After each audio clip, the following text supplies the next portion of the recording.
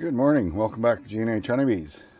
It is Monday, the 2nd of July, 2024.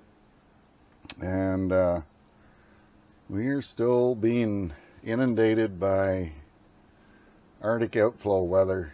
It's only about 14 or 15 degrees Celsius right now. It's about 10 o'clock in the morning. And you can see a few bees flying there, but not too many and I think I've figured out why those three colonies over at my other location are looking to swarm. And that's because it's been so cold at night that the bees are clustering in the two upper boxes. They haven't really been using the bottom box. There's basically they're just using that for a ladder. But I think they've been clustering up in here giving them the sensation that they're overcrowded um, the one box over there, there's in the honey super, there's like six, seven bees up there. The other ones, they have a bigger population and there are some bees in the honey super, but the majority of the bees are crowded into the top two boxes. And all three of them are still making queen cells. So I think it's been the weather that's causing this queen cell situation. But anyway, this colony, Hive 1, oh, it was about a month ago now, I introduced a new virgin queen in a cage. They let her out. She got mated. And she was big. She was huge. And she was a nice looking queen. And I went through the entire box and I knocked off all the, the swarm cells that were in there. Or at least I thought I had. And a few days ago, I opened them up just to see how the queen was doing.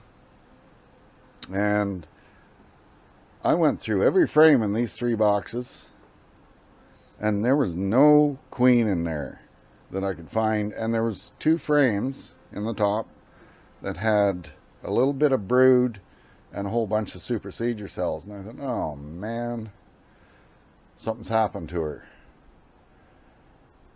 So,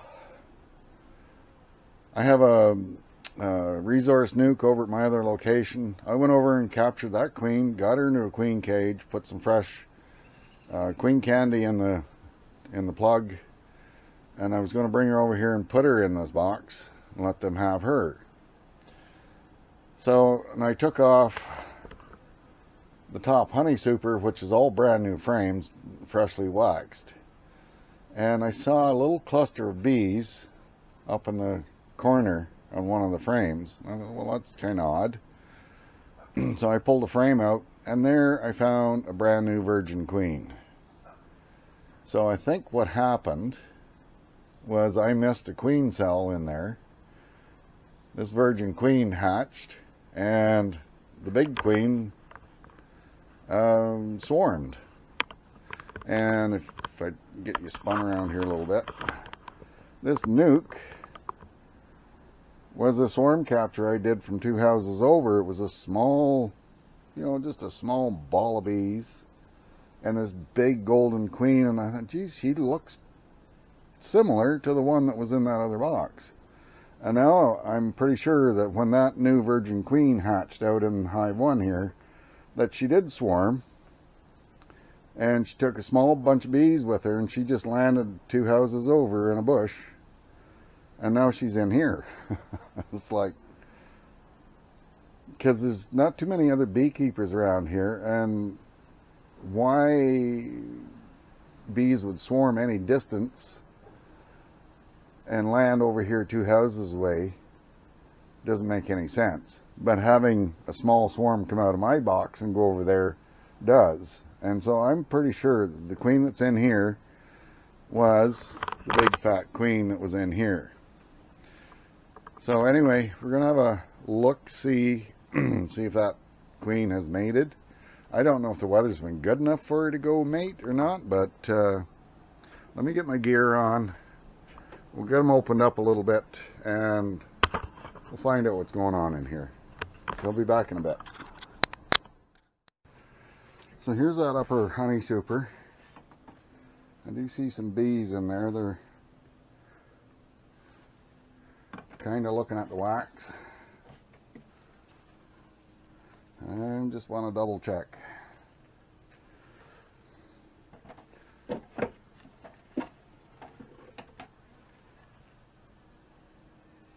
Yeah, they've got a little bit of wax started there.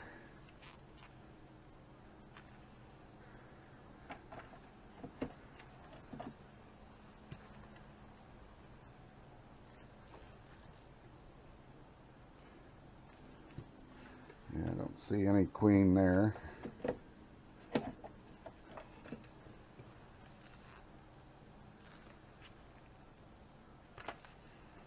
Don't see one there.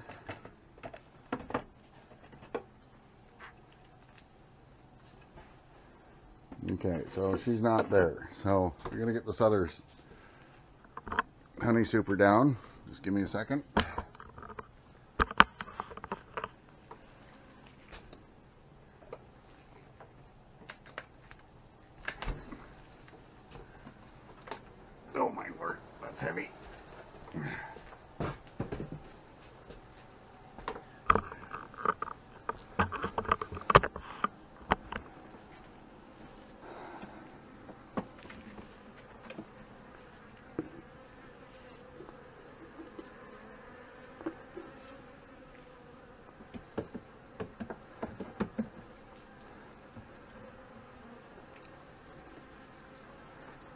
Alright, so this is packed full of nectar.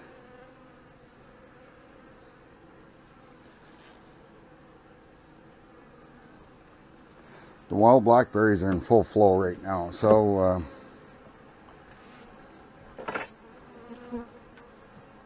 this one's really heavy. Oh yeah, actually starting to cap that a little bit.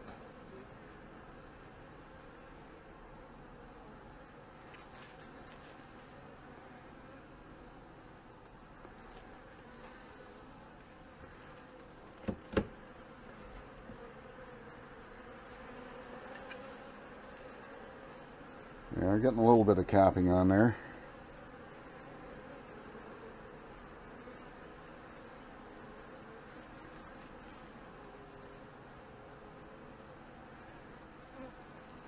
I'm just double checking to make sure that she hadn't come up through the queen excluder. Because she wasn't mated, she was able to fit through the queen excluder quite easily. There's some cappings there. And there's a queen cup.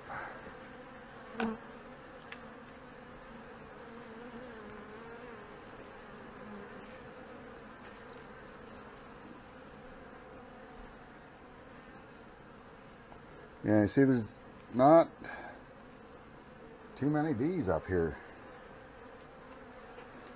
The number of bees in this colony, there should be, like this box should be full of bees and they should be producing a lot of honey, but that's sort of packed end to end with nectar. Now I know a queen normally wouldn't be running around up here, but I am just being cautious and just checking to make sure.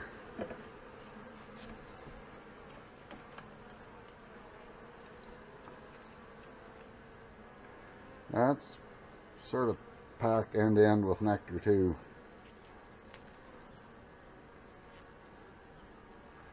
There's bees on the outer frame. Yeah, this one's pretty empty.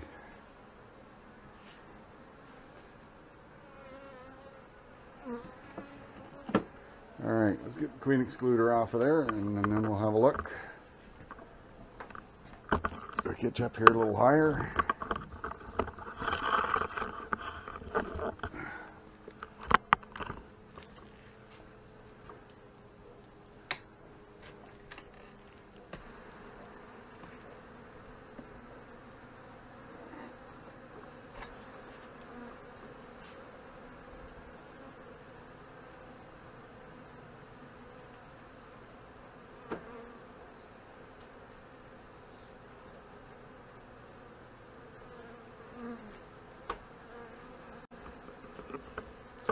Bring you around here so I can work from the side.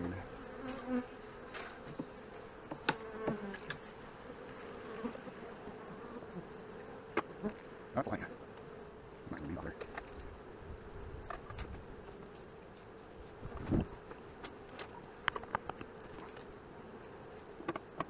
That's one. We've got queens all down there. Let's take it off.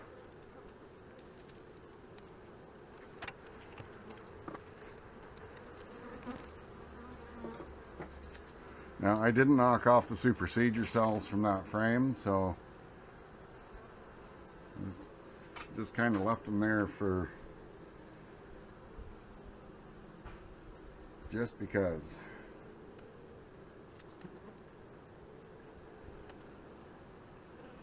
No, she did get mated.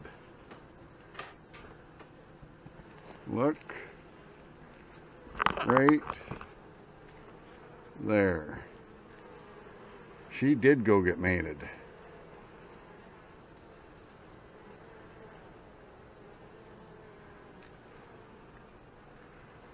And girls, where is she? There she is.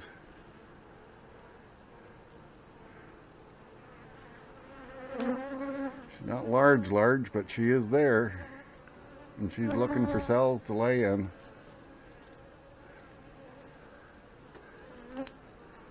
All right. Now I gotta find these. Let's see if they've done anything with these supersedure cells.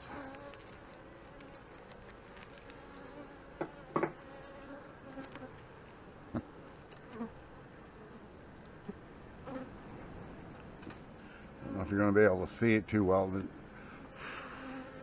the sun won't stay out long enough to... So there's one there. It's empty. They've torn it down. And there's one over here that they've started to chew down, even though there's a larva in there. So I'm just going to help them out a little bit. Pop that out of there. And there was a mite on that larva.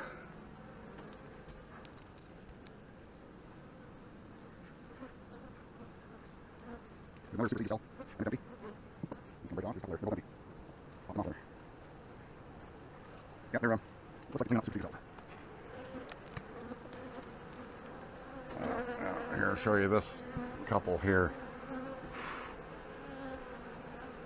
You see those two right there? They were both populated and they're empty now. Just pull them off. These will fix that wax. There's another one. It's empty.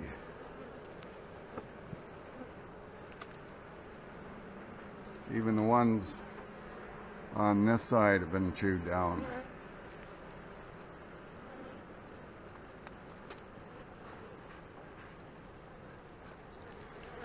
Alrighty then, I'm going to go through every frame in this box make sure there's no more queen cells.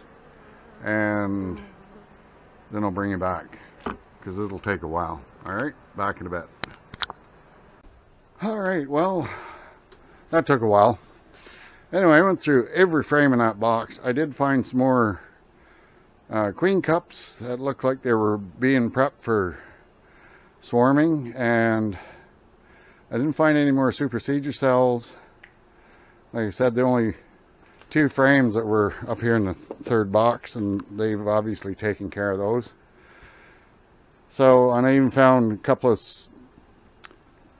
swarm cells or swarm cups in the bottom box. So I've got them all back together. I'll leave them for another seven days, and then we'll check back and see what that new queen is doing. So, anyway, um, you must, I'm kind of glad I didn't uh, video that whole thing because that was about half an hour and that's all you need to do is to sit around for half an hour watching me pull frames. Anyway um, I hope you enjoyed the video and uh, we'll catch you again on the next one. And I'd like to thank you all for watching so I'll talk to you later. Bye for now